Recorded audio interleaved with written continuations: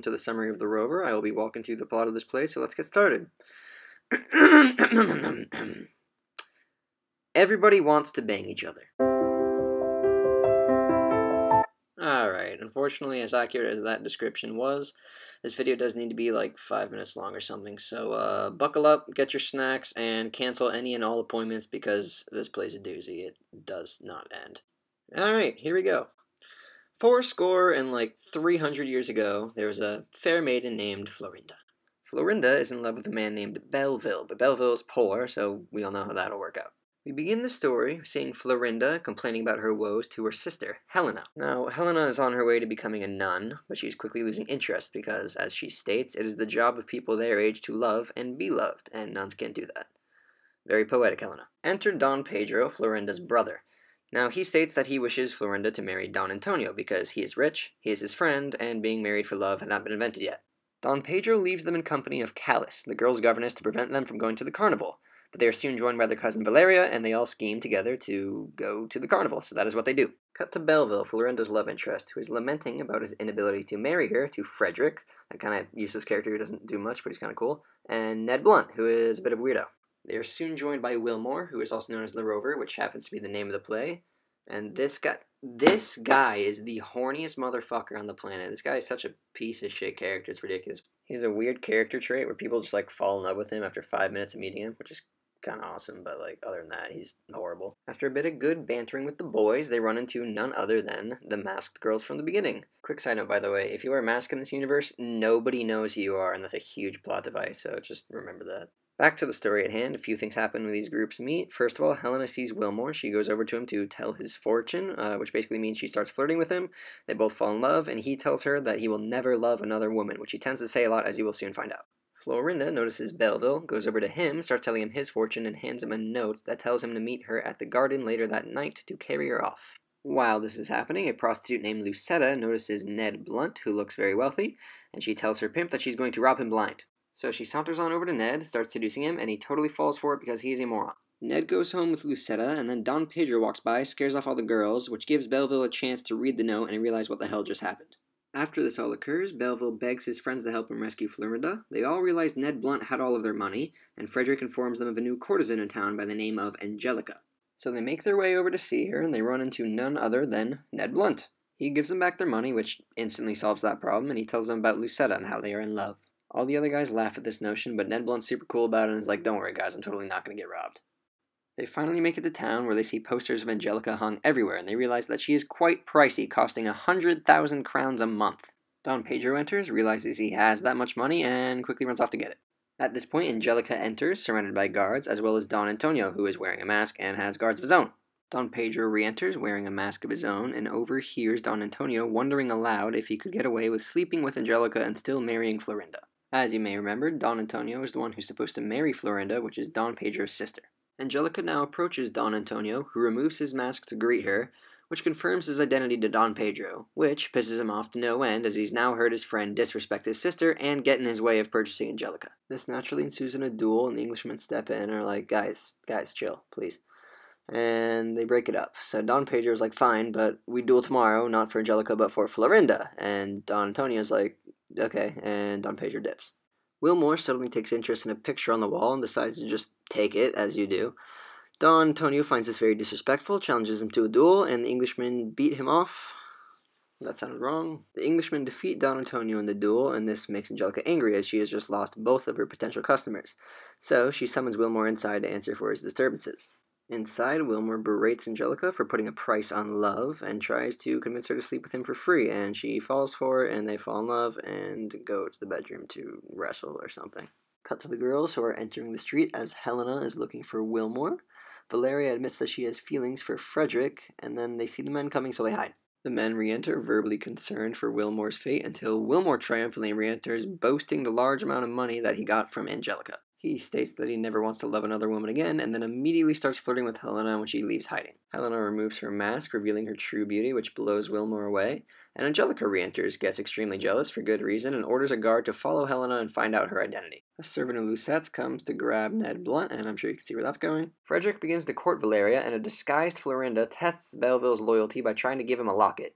He initially refuses, but is eventually pushed into submission by Frederick. After the girls leave, he opens locket, sees a picture of Florinda, and realizes he's been talking to his loved one this whole time, and vows to rescue her that afternoon. In the meanwhile, Ned Blunt enters Lucetta's house, prepares to sleep with her by getting undressed and leaving all of his valuables on the floor. Then the lights go out and he gets thrown out of a window. Now, if you're concerned for our little Ned's safety, don't worry too much because he does fall in some water, and then he like crawls out of a sewer and like claims vengeance on all of womankind, which is kind of a weird move, but like I guess I don't know.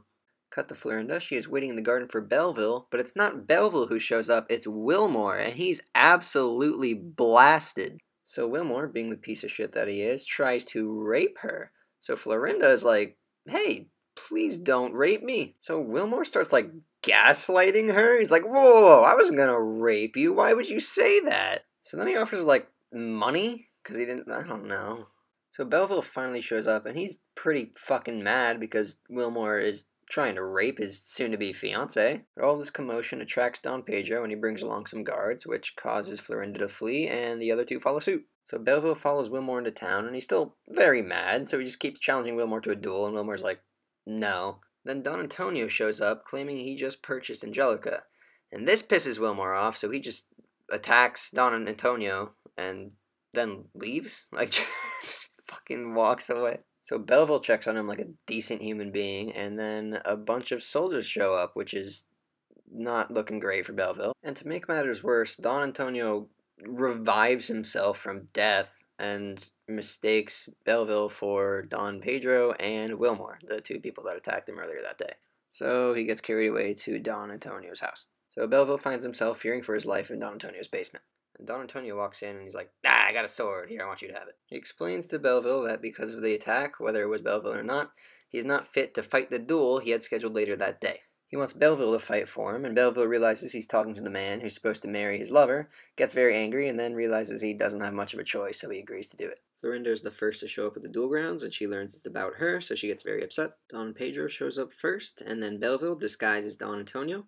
They fight, and Belvile kicks his ass.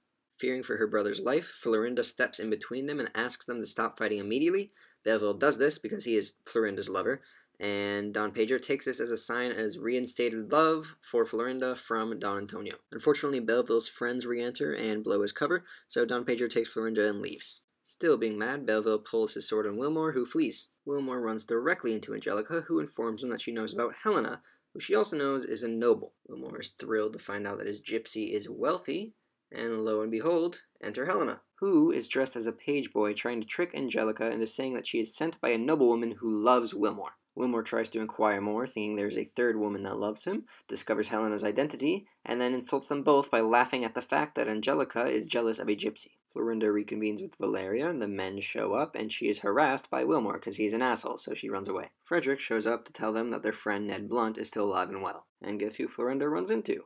Unfortunately for her, Ned Blunt has gone a little crazy after declaring war on all of womankind, so he tries to rape her. Frederick shows up, Ned Blunt asks for his help, but Florinda stops them and gives him a ring, claiming she is of noble birth. So they decide to lock her away until they can prove if it's true or not. The other boys break down the door and barge in, and Ned fills them in on what's going on. Belvile recognizes the ring and realizes that Florinda is in trouble. They all finally decide that whoever has the longest sword will get to go in to see her first. So Don Pedro got first dibs. He brings her out, but Valeria enters just in time to distract him by telling him that Florinda has gone missing, despite the fact that she's standing right behind him. So Florinda comes over, takes off her mask, and shows her true face to everyone. They all ask for her forgiveness, and she gives it to them for whatever reason, because I guess women didn't have rights yet. And she agrees to marry Belvile. Frederick and Valeria didn't want to miss out on the fun, so they decide to get married too.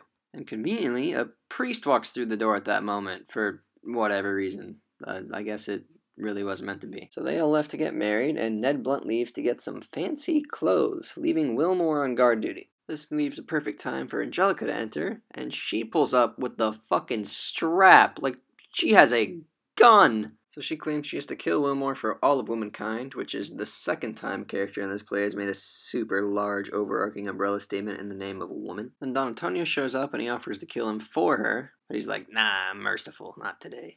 Don Pedro shows up and tells off Don Antonio for being disrespectful to his sister, which is a very ballsy thing to do to a man with a gun. But nothing happens, so Don Pedro just wonders what he should do about Belvile and Florinda. Willmore informs him that they're already married and that if he tries to do anything about it, he'll kidnap him. So Don Pedro just kind of lets it slide. Not that he had much of a choice. So Belvile enters, Don Pedro congratulates him, and they leave to go say hello to everyone. And then Helena enters, and after some conversation, they decide to tell each other their names, because they didn't do that yet. And then they decide to get married, because why not at this point? And they all rounded up with one big happy party. Which finally brings us to the end. Finally. Until Act 3046, we're about halfway through the story. The year is 2066. We're on the moon. Willmore's trying to marry a giraffe. And when he sees